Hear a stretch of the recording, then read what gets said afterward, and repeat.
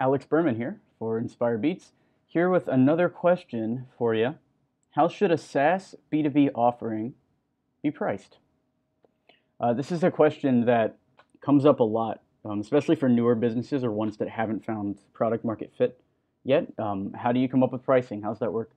And something that I, I found really useful is uh, something called the 10x rule, which basically what that means is anything you charge uh, should be about the amount of value you deliver divided by 10. So, for instance, let's say you're building a mobile app, right? And it's a business that you're building, um, and it's uh, it's supposed to make the investor about $100,000. So you should charge $10,000 for that. That's a fair price. Um, if your if your app improves efficiency by 10%, you know, you can take that the other way. Let's say I'm going to just bring up the calculator right here. Let's say you are able to improve their efficiency in a way that generates them about $9 million a year, you know, if you're able to, you should be able to ask for 10% of that, which is, you know, $900,000. And that's how you price. Um, at InspireBeats, we break our pricing down into a few different tiers based on that similar principle, right? So if you go, if we go over to inspirebeats.com, you can see how we're, we're broken down.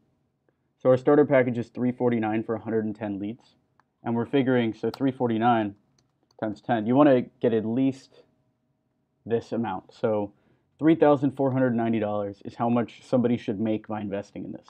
And that's the mindset you want to keep up.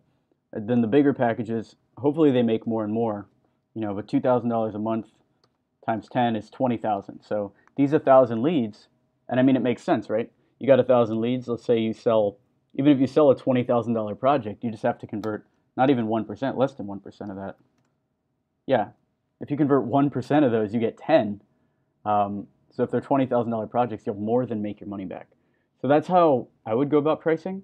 Take the value you deliver to your clients or to your end customers, and then divide that value by 10, and then you have your price.